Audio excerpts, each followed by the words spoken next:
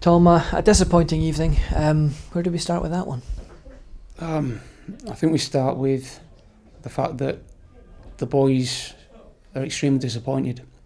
Um, after the way we started pre-season, the first four um, Betfred uh, Cup games, we passed the ball well. We were dominant, and the last two games, we feel like we've let ourselves down, let the fans down, and just a message to the, to those out there that are going to be watching this that we're really hoping to put it right on Saturday, and that's not a performance that we will be happy with it all, and we know that the fans aren't happy with it either. It is something. It is a contrast from the early games that you say. Was it a mm. different mm. style of play from the opposition, or what do you put that down to?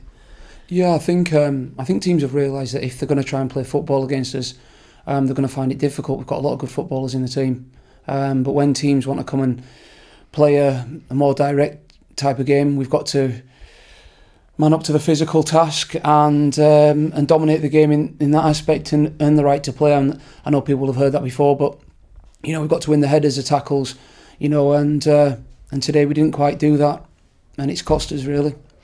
I don't think we deserve to be a goal behind when we were, though. Is that fair to say or not? I think so. Um, I think with a team that we're looking to try and play in the right manner, um, and as you know, when you concede against teams like like Livingston with a direct style of play, they're going to put if they didn't in the first place put 10 men behind the ball and make it extremely difficult for you.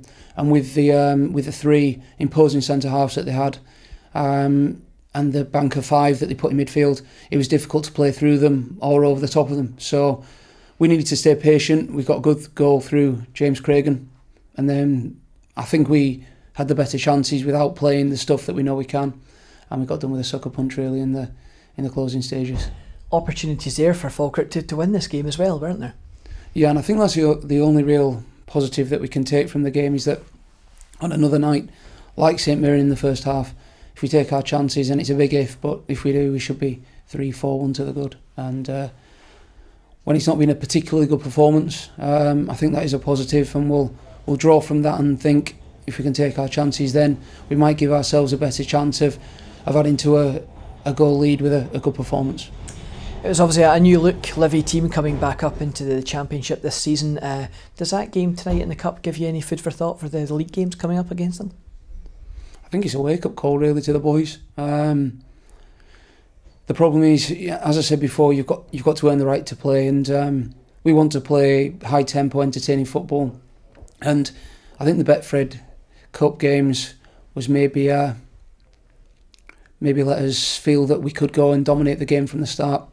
Um, you can't, you can't question the boys' effort. You know, they ran themselves into the ground tonight, but we've got to be a little bit more savvy, um, less naive, and learn that teams aren't going to allow us to play our football right from the off.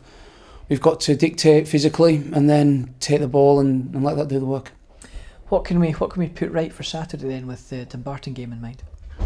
I think it's going to be very much of the same. I think Dumbarton will have watched that and thought that Um, if they play long, direct, and nick a goal, then they can make life difficult for us. So the only way we can combat that is by a quick start, um, getting in, in Dumbarton's faces, and um, and when we do get the ball, moving it quickly. Um, and I think maybe that was something we we lacked tonight, that real speed of passing, and, and directness at times, you know. And uh, once you get a team on the back foot, it's very hard for them to to drag themselves out of that. And uh, as long as we start quick, I think we'll be okay. And if we if we can move that ball quickly, if we can mm. get that speed of passing, confident that we can get a positive result and send the fans home happy on Saturday. Yeah, most definitely. We've, as I've said before, we've got fantastic footballers. If we can couple that with the grit and determination that I know is in the dressing room, because we last year we, we dug out results from places where I'm thinking, you know, it's going to be tough, it's going to be hard. One 0 down, two one down, and we still come back to win. And um, I know we've got it. It's just finding it and uh, and bringing it out for next week. Fingers crossed we can. Tom, as always, Cheers. thanks for your time. Thanks, Lewis. Cheers. Perfect.